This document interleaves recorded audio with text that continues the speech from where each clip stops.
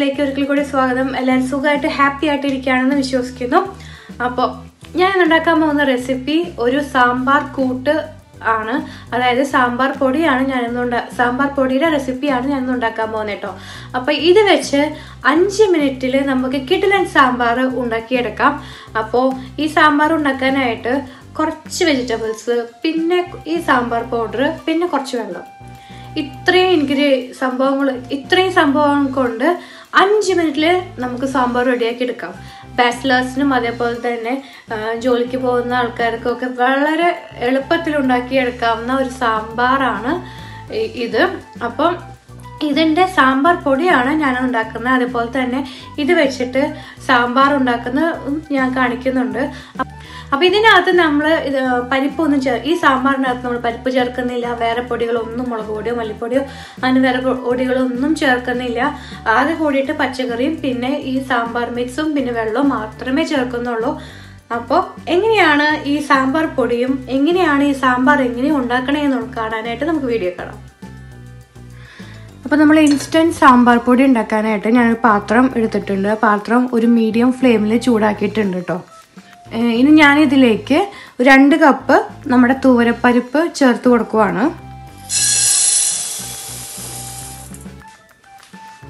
ഇതൊന്ന് നന്നായിട്ടൊന്ന് dry roast ചെയ്തെടുക്കണം. മീഡിയം ഫ്ലെയിമിൽ വേണം ഇടാനായിട്ട്. നമ്മൾ ഡ്രൈ റോസ്റ്റ് ചെയ്ത് വരുമ്പോഴത്തേനും ഇതിന്റെ കളറ് ചെറുതായിട്ടൊന്ന് മാറിത്തുടങ്ങും. മാറി തുടങ്ങും അതുവരെ നമ്മളതൊന്ന് ഡ്രൈ റോസ്റ്റ് ചെയ്തെടുക്കണം കേട്ടോ.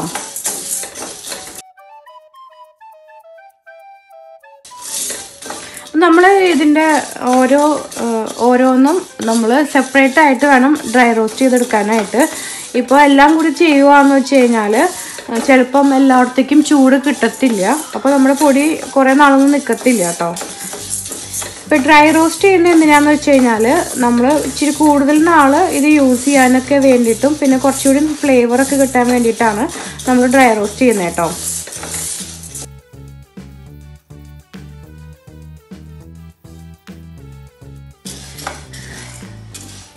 ഇപ്പം നമ്മുടെ പരിപ്പ് ഇങ്ങനെ ഡ്രൈ റോസ്റ്റ് ചെയ്യുമ്പോൾ ഒരു ഒരു മണമൊക്കെ വന്നു തുടങ്ങിയിട്ടുണ്ട് അപ്പോൾ അത് ഏകദേശം നിങ്ങൾക്ക് കാണാം. ചെറുതായിട്ടൊന്ന് ഇതിന്റെ കളറൊന്ന് മങ്ങി വരുന്നുണ്ട്.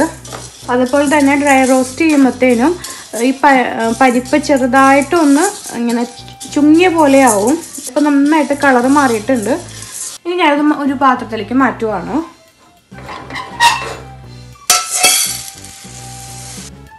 അപ്പോൾ നമ്മുടെ പരിപ്പ് ഞാനിതിലേക്ക് ഒരു പാത്രത്തിലേക്ക് മാറ്റി ഒന്ന് നിരത്തിയിടുവാണ്. ഒന്ന് ചൂടാറാനായിട്ട്. നമ്മൾ പാത്രത്തിനകത്ത് നമ്മൾ ഓൾമോസ്റ്റ് ഡ്രൈ റോസ്റ്റ് ആയി കഴിഞ്ഞാൽ പെട്ടെന്ന് തന്നെ എടുക്കണം. അല്ലെങ്കിൽ പെട്ടെന്ന് കരിഞ്ഞു പോവും. എന്നിട്ടൊരു പരമാവധി വലിയൊരു പാത്രത്തിനകത്ത് ഒന്ന് ഇങ്ങനെ പരത്തിയിടാം. പ്ലേറ്റിനകത്തേക്ക് ഞാൻ നന്നായിട്ടൊന്ന് ഇത് പരിപ്പൊന്ന് പരത്തിയിട്ടിട്ടുണ്ട്. ഇപ്പം നമ്മുടെ നാട്ടിൽ മുറമൊക്കെ ഉണ്ടെന്ന് വെച്ച് കഴിഞ്ഞാൽ മുറത്തിലൊന്ന് പരത്തിയിട്ടാൽ മതി. ചൂടാറാനായിട്ടാണ് നമ്മളിത് ചെയ്യുന്നത് കേട്ടോ. അപ്പോൾ നന്നായിട്ട് ഇങ്ങനെ പരത്തിയിട്ടിട്ടുണ്ട്. ഇനി നമുക്ക് നെക്സ്റ്റ് നെക്സ്റ്റ് മല്ലി നമ്മൾ ഡ്രൈ റോസ്റ്റ് ചെയ്യാണ്. ഞാനിവിടെ മുക്കാൽ കപ്പ് മല്ലിയാണ് എടുത്തു കൊടു ചേർത്തുന്നത് കേട്ടോ. അതുപോലെ മല്ലിയും ഇതുപോലെ ഡ്രൈ റോസ്റ്റ് ചെയ്യുക ഇപ്പം നമ്മൾ സ്റ്റീൽ പാത്രം അത് കാസ്റ്റേണൊക്കെയാണ് യൂസ് ചെയ്യണമെന്ന് വെച്ച് കഴിഞ്ഞാൽ പെട്ടെന്ന് തന്നെ ഇത് ചൂടായി വരും. കാരണം ഓൾമോസ്റ്റ് ഇതിനകത്ത് ചൂടുണ്ടാവും.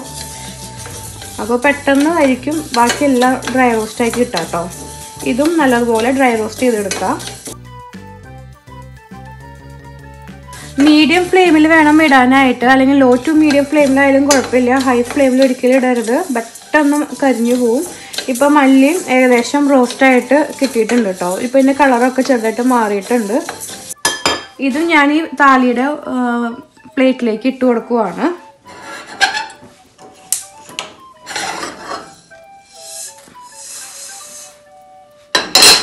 ഇതും ഒന്ന് ചെറുതായിട്ടൊന്ന് പരത്തി കൊടുക്കാം. നെക്സ്റ്റ് ഞാൻ ചേർക്കുന്നത് വറ്റൽമുളകാണ് അതായത് ഉണക്കമുളക്. അത് ഇരുപത് എണ്ണമാണ് ഞാൻ ചേർക്കുന്നത്. ഇതും നല്ലതുപോലെ ഒന്ന് ഡ്രൈ റോസ്റ്റ് ചെയ്തെടുക്കാം.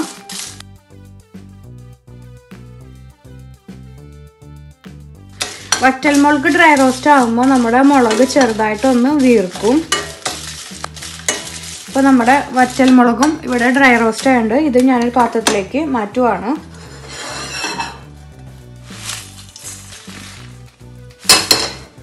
ഇതും ഞാനൊരു പാത്രത്തിലേക്ക് ആ മറ്റേ താലിയിട്ട പ്ലേറ്റിലേക്ക് മാറ്റുവാണ് കേട്ടോ.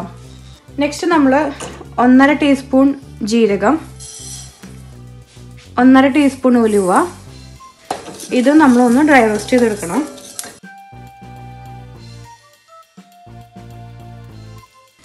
ജീരകവും ഉലുവയും ഡ്രൈ റോസ്റ്റായി. ഇനി ഇതിലൊരു പാ ഇതും മറ്റേ പാത്രത്തിലേക്കൊന്ന് മാറ്റുവാണ്.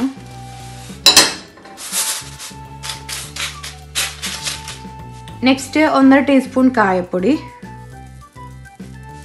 അതുപോലെ ഒന്നര ടീസ്പൂൺ മഞ്ഞൾപ്പൊടി. ഇതും ഒന്ന് ഡ്രൈ റോസ്റ്റ് ചെയ്ത് വെക്കുക മഞ്ഞൾപ്പൊടിയും കായപ്പൊടിയും ഡ്രൈ റോസ്റ്റ് ചെയ്യുമ്പോൾ തീ ഓഫ് ചെയ്തിട്ടാണ് നമ്മൾ ഡ്രൈ റോസ്റ്റ് ചെയ്യാനായിട്ട്. തീ ഓൺ ചെയ്തിട്ട് ഡ്രൈ റോസ്റ്റ് ചെയ്യേണ്ട ആവശ്യമില്ല. കാരണം നമുക്ക് ഒത്തിരി ഡ്രൈ റോസ്റ്റ് ചെയ്യേണ്ട ആവശ്യമില്ല കേട്ടോ അത്.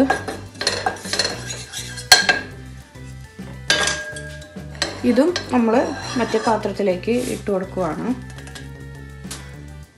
നെക്സ്റ്റ് ഞാനൊരു രണ്ട് തണ്ട് കറിവേപ്പില ചേർത്ത് കൊടുക്കുന്നുണ്ട്. കറിവേപ്പില ഇടുമ്പോൾ ലോ ഫ്ലെയിമിൽ വേണം ഇടാനായിട്ട്. അതും ഞാനൊന്ന് ഡ്രൈ റോസ്റ്റ് ചെയ്തിട്ടുണ്ട് കേട്ടോ ഇപ്പോൾ കൂടുതൽ കറിവേപ്പില ചേർത്താലും കുഴപ്പമില്ല ടേസ്റ്റ് ആയിരിക്കും.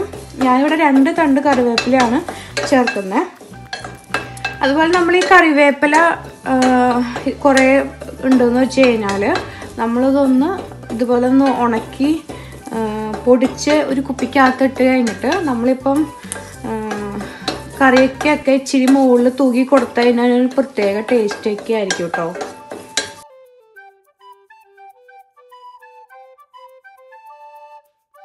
അപ്പോൾ കറിവേപ്പില നമ്മൾ ഡ്രൈ റോസ്റ്റ് ചെയ്ത് കഴിഞ്ഞിട്ടുണ്ട്.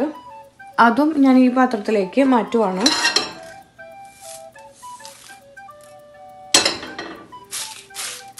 എല്ലാവരും ഒന്നും പരത്തിയിട്ട് കൊടുക്കുക ചൂടാറാനായിട്ട്.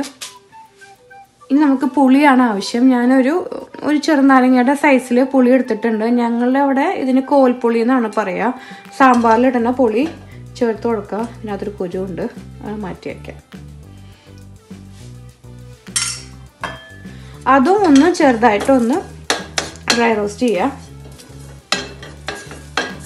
പറ്റുവാണെങ്കിൽ ഒന്ന് വിടർത്തിയാക്കി ഇട്ട് കഴിഞ്ഞാൽ നല്ലതായിരിക്കും നന്നായിട്ട് ചൂട് കിട്ടും.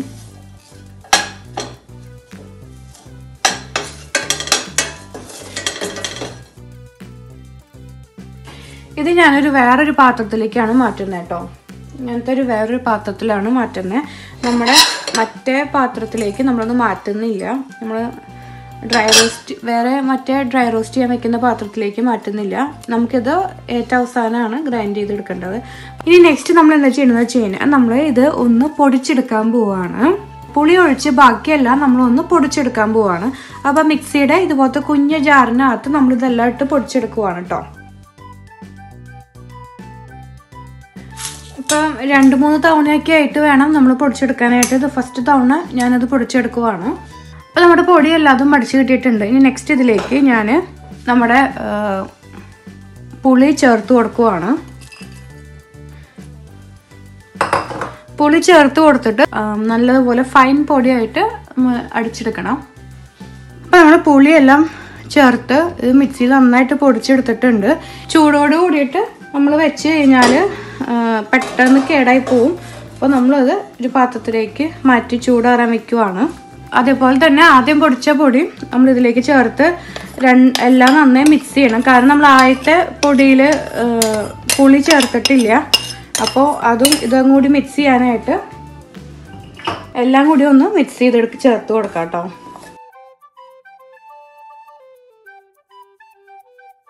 എന്നിട്ടാണ് നമ്മൾ ഒരു നല്ല എയർ ടൈറ്റ് കണ്ടെയ്നറിനകത്ത് നമുക്കിത് സൂക്ഷിച്ച് വെക്കാൻ പറ്റും. അപ്പോൾ ഒത്തിരി കാലം വരെ നമുക്കത് യൂസ് ചെയ്യാനായിട്ട് പറ്റും. നമുക്കിപ്പം പെട്ടെന്ന് ഒരു സാമ്പാർ ഉണ്ടാക്കാന്ന് വെച്ച് കഴിഞ്ഞാൽ ഇത് നമുക്ക് ഈ പൊടി യൂസ് ചെയ്യാം. അപ്പം എങ്ങനെയാണ് സാമ്പാർ ഉണ്ടാക്കണമെന്ന് വെച്ച് കഴിഞ്ഞാൽ നമ്മൾ ഈ പൊടി കുറച്ച് പൊടി എടുക്കുക വെള്ളം ഒഴിക്കുക കഷ്ണം ഇട്ട് കുക്കറിനകത്തിട്ട് ഒന്ന് രണ്ട് വിസിലടുപ്പിക്കുക. അത്രേ ഉള്ളൂ. അപ്പം ഞാനത് ചെയ്ത് കാണിക്കുന്നുണ്ട്. അപ്പം നമ്മൾ ഇനി സാമ്പാർ ഉണ്ടാക്കാൻ പോവാണ്. വളരെ ഈസി ആയിട്ടുള്ള സാമ്പാറാണ്. അപ്പോൾ ഇതിനകത്ത് ഞാൻ കുറച്ച് ഒരു കായ എടുത്തിട്ടുണ്ട്. ഒരു ഉരുളൻകിഴങ്ങ് ഒരു ക്യാരറ്റ് ഒരു തക്കാളി ഒരു മുരിങ്ങക്ക പിന്നെ രണ്ട് ചോന്നുള്ളി പിന്നെ കുറച്ച് കറിവേപ്പില. കറിവേപ്പില വേണമെങ്കിൽ ചേർത്താൽ മതി. ഞാൻ ഇതിനകത്ത് കറിവേപ്പില ചേർക്കുന്നുണ്ട് കേട്ടോ ഇനി ഞാൻ ഈ ഇത് ഈ വെജിറ്റബിൾസ് എല്ലാം കുക്കറിനകത്ത് ഇടുവാണ്. നിങ്ങൾക്ക് വേണമെന്ന് വെച്ച് കഴിഞ്ഞാൽ ഇഷ്ടമുള്ള വെജിറ്റബിൾസ് എല്ലാം ആഡ് ചെയ്യാം കേട്ടോ ഇതിനകത്ത്. ഞാൻ ഇതിനകത്ത് ഇത്രയേ ആഡ് ചെയ്യുന്നുള്ളൂ. അതേപോലെ തന്നെ ആവശ്യത്തിന് വെള്ളം ചേർത്ത് കൊടുക്കാം.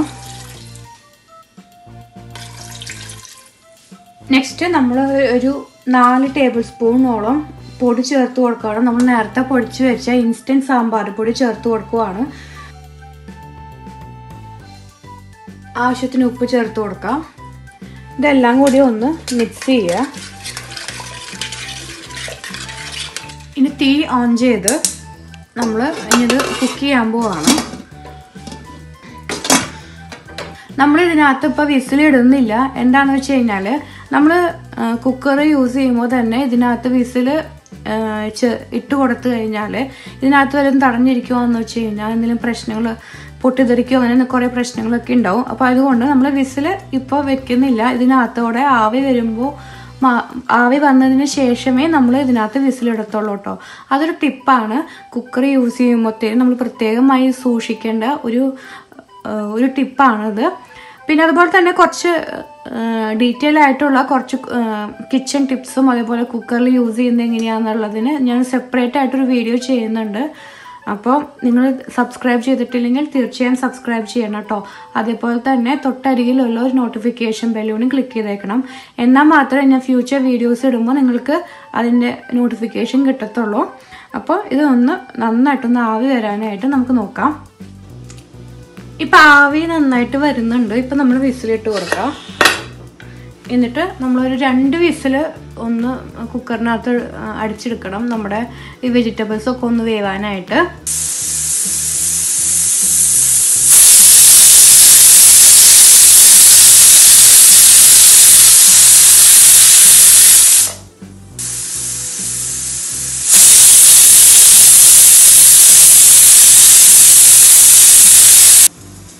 ഇപ്പോൾ രണ്ട് വിസിലിപ്പ് അടിച്ചിട്ടുണ്ട് ഇനി നമുക്കിത് ഓഫ് ചെയ്തിട്ട് ഇതിന്റെ ആവി നമുക്ക് നന്നായിട്ടൊന്ന് പോവാം. ആവി പോണ വരെ നമുക്കതൊന്ന് തുറക്കാതെ വെക്കാം കേട്ടോ നമുക്ക് തുറന്നു നോക്കാം. ആവി ഇപ്പം ആവി നന്നായിട്ട് പോയിട്ടുണ്ട്. ഇനി നമുക്ക് തുറന്നു നോക്കാം.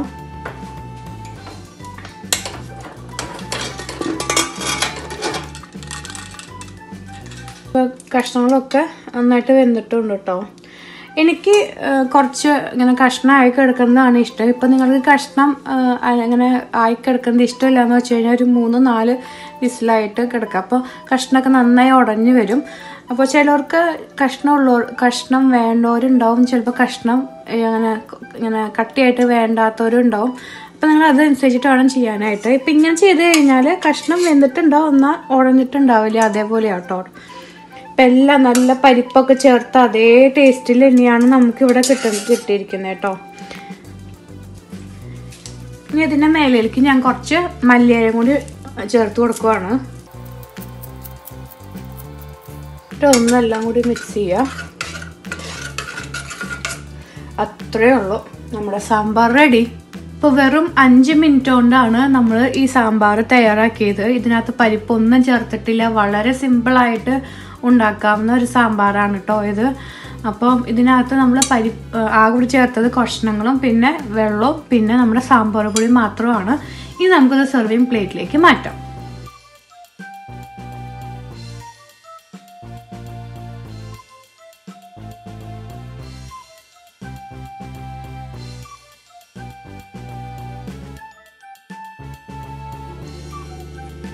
വളരെ എളുപ്പം ഉണ്ടാക്കിയെടുക്കാവുന്ന ഒരു സാമ്പാർ പൊടിയാണ് ഇത് വളരെ ടേസ്റ്റി ആയിട്ടുള്ള ഒരു സാമ്പാർ നമുക്ക് ഇതുകൊണ്ട് ഉണ്ടാക്കിയെടുക്കാൻ പറ്റും. കഷ്ണങ്ങളും അതേപോലെ തന്നെ വെള്ളവും പിന്നെ ഈ സാമ്പാർ പൊടി മാത്രം മതി. നമുക്ക് കിടിലൻ സാമ്പാർ ഉണ്ടാക്കാനായിട്ട്. വളരെ ടേസ്റ്റി ആയ സാമ്പാർ നമുക്ക് ഉണ്ടാക്കിയെടുക്കാം. പരിപ്പ് ചേർക്കേണ്ട ആവശ്യമില്ല.